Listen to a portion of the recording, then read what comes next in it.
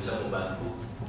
Tadi Pak Karol menceritakan mengenai kendala-kendala yang dihadapi pada partai-partai nasional, umat Kristiani ataupun umat agama lain di dalam partai nasional. Sekarang pertanyaan saya, hubungan seperti apa, relasi, eh, relasi seperti apa yang perlu dibangun antara pengusaha Kristiani dengan lembaga-lembaga gereja atau hamba-hamba Tuhan? Karena di sini saya melihat bahwa ada ada kesenjangan begitu. Karena si pengusaha ini dianggap sebagai sapi perah, se- sementara si eh, lembaga-lembaga gereja ataupun eh, pendeta-pendeta itu merasa bahwa eh, mereka tidak perlu memberikan rekomendasi yang yang persis mengenai apa yang harus dilakukan. Jadi yang terjadi akhirnya adalah sumber dananya bingung, kemudian sumber inspirasinya juga tidak memberikan instruksi yang jelas. Terjadi kebingungan di bawah yang berakibat kepada golongan uh, golput yang sangat besar di antara umat eh, Kristen. Pengusahanya akhirnya tidak peduli, terutama pengusaha Chinese, salah satunya saya misalnya sering kali tidak peduli sampai akhirnya saya mulai dibukakan mata saya oleh PDS. Kemudian pengusaha-pengusaha Kristen yang akhirnya karyawannya pun akhirnya merasa habis. Lah pemimpin saya yang nggak peduli kok, nggak bisa melakukan perubahan apa pun, kenapa saya harus peduli? Nah jadi kembali ke pertanyaan saya tadi, bagaimana hubungan relasional antara si pengusaha dengan si eh, pendeta atau pastor yang sebaiknya terjadi, yang idealnya terjadi. Seperti Pak Peter tadi bilang, ini harusnya lima tahun yang lalu, oke setuju. Tapi sebetulnya relasinya seperti apa yang kita harapkan yang idealnya? Demikian, terima kasih.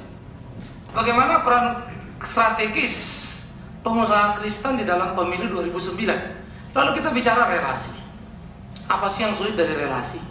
Tidak ada. Pertanyaannya, Anda datang dan bicara apa tidak? Yang kedua, Anda bicara dimengerti apa tidak? Dan ketiga, sesudah Anda bicara, Anda lakukan apa tidak? So simple. tanpa alasan yang jelas. Itu adalah kebijakan menteri-menteri yang saya anggap tidak negarawan, tapi sektarian. Dan kenapa dibiarkan oleh pemimpinnya? Maka saya beranggap beranggapan pemimpin itu terlibat dalam hegemoni ini. Sehingga saya setuju dengan yang disampaikan oleh Anti dan Afung tadi, kita nggak perlu memilih pemimpin seperti ini. Dan di sinilah kompetensi BDS untuk menentukan sikap dari sekarang. Dan inilah kompetensi di mana BDS akan mendapatkan suara-suaranya. Serasa Pak Beto Coro dan Big Man dan bahkan Bung Mervin Panjaitan bersama-sama kita sebagai orang-orang profesional di bidang masing-masing. Kita akan memberikan kontribusi pada saat-saat terakhir. Ya. Yang terakhir Bung Sony, saya setuju dengan Anda, kita nggak berkucil hati. Ini sudah sangat banyak. Bang Karol sudah katakan, kenapa para pengusaha takut datang? Takut diperas. Takut diminta uang. Iya. Apalagi kalau yang minta uang PDS. Kami dapat apa? Apa yang bisa saya dapat? Tetapi saudara, saya juga mendengar beberapa teman pengusaha yang tidak mau datang. Mereka akan tahu, akan minta tahu, mencari tahu apa yang kita bicarakan. Salah satu pertemuan kita, Pak Peter Condro di Kelapa Gading, salah satu contoh. Bagaimana Bung Royani diserang habis sampai nggak bisa ngomong oleh nasional leader dari Full Gospel. Tapi di, apa dia yang dari pertemuan itu? Dia dari pertemuan itu adalah persahabatan, komitmen yang luar biasa. Termasuk komitmen Bapak Peter Condro. Jadi Bung Sony Anda jangan berkecil hati.